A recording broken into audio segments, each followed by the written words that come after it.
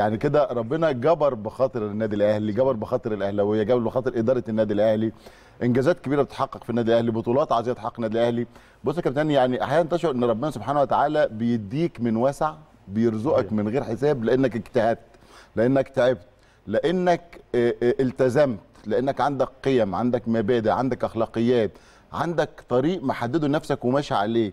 بتشوف أخطائك بتصلحها مش بترمي أخطائك على آخرين فبتصلح في أخطائك عشان توصل لهدفك. بتجتهد طول الوقت عشان ربنا يوصلك في النهاية للنتيجة دي. زي مثلا طالب في الثانوية العامة بيذاكر طول السنة ممكن يحصل له برد في آخر آه، آه، عند أيام الامتحانات. أكيد ربنا مش هيسيبه ولا يتخلى عنه يعني. فربنا بيديه ربنا بيديك من وسع بيديك الدوري ودي بطولة أنت معتاد عليها وفرق كبير جدا. بيديك دوري الأبطال البطولة العظيمة اللي اللي خلفها مجموعة من البطولات. بطولة كبيرة جدا وأنا من وجهة نظري إن دي واحدة من أعظم البطولات اللي خدها الأهلي في تاريخه من وجهة نظر ايا كانت أي بطولة ثانية حقيقة قارنوها ب 2006 بس أنا اعتقادي الشخصي إنها تفوق كمان بطولة أفريقيا في في 2006 2006 عظيمة بس إيه إيه إيه البطولة دي ليها مذاق خاص ومذاق مختلف لأنها كمان جت على منافس قوي جدا صحيح. معاك اللي هو نادي الزمالك.